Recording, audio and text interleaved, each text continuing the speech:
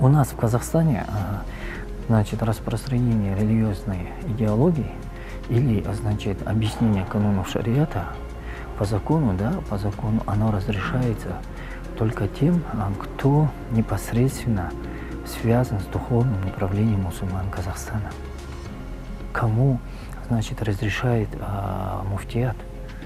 А, это не только один муфтий, это совет ученых, это а, комиссия, которая проверяет знания этого человека, этого имама или устаза, который э, действительно ли соответствует, есть ли у него такие э, серьезные, хорошие знания, э, насколько он, значит, психологически здоровый, насколько он, э, значит, э, готов к тому, чтобы вести проповедь и э, распространение ислама, объяснение канона шариата среди людей.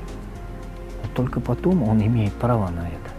Ради чего действительно мусульманин должен сказать, да, это мы должны защищать. Или же есть то, где мусульманин может проявить терпение. Ведь а, Всевышний Аллах, Он а, всегда нас призывает к тому, чтобы мы имели добрые отношения с другими людьми. Не только а, из числа мусульман, но и с людьми других вероисповеданий.